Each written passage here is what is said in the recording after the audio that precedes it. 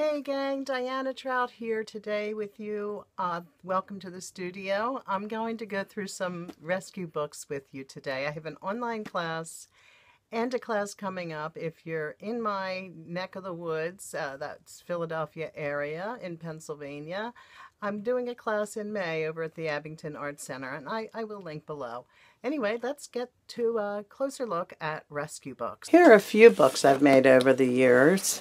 Uh, this one is huge, and you've probably seen me work in this one. It's Coptic bound, and I've been working in this journal for a long time. I think, let's see, I can't see a date. 2011. I still have some pages to go in here, and I just pull it out when I feel like working in it. So it's been a studio companion for quite a few years. This book, this one is a more simply bound book, and this is the one, this is similar to the one that we'll be making at the Art Center. Um, with, I love to make books with different kinds of pages and glue-ins and different kinds of papers. It makes the whole thing just so much more fun and it sort of gives you a bond, an automatic bond to your journal. So this is similar to the one we'll be making. We won't be doing eyelets, but uh, it's similar.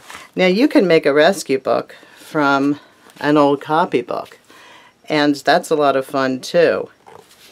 Here's another book that I made years and years ago uh, from a from an old book.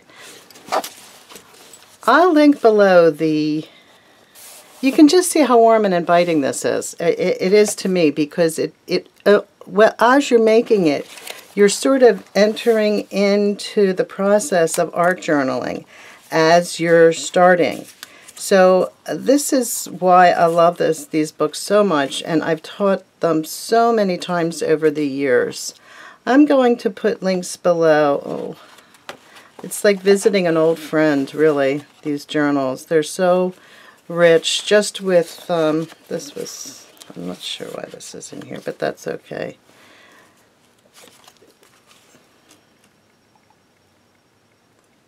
I can't help but remember moments when I go through a journal. And in particular, I have a special love for my own rescue book journals. This is a great beginner class for just learning to stitch and learning how to handle uh, bookbinding techniques such as signatures and um, piercing and stations and all of those bookbinding techniques that are the basis, the beginning of becoming more fluent in bookbinding. And these techniques are simple and I've thrown in a lot of creativity and creative ideas This was a book I made in the online class. I used magazine, uh, this was actually a calendar page I think, loose leaf paper, gessoed pages, and uh, stamped pages, envelopes, old envelope, ledger sheets. I've done some weaving here with washi tape. There's so much fun to be had in a journal like this that's already started, already worn in, and already a part of you. So I hope that if you can't join me at Abington Arts Center, you can hop on over to my blog and find the links below for both.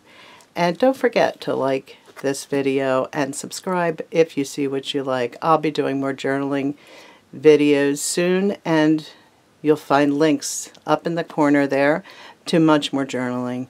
See you soon.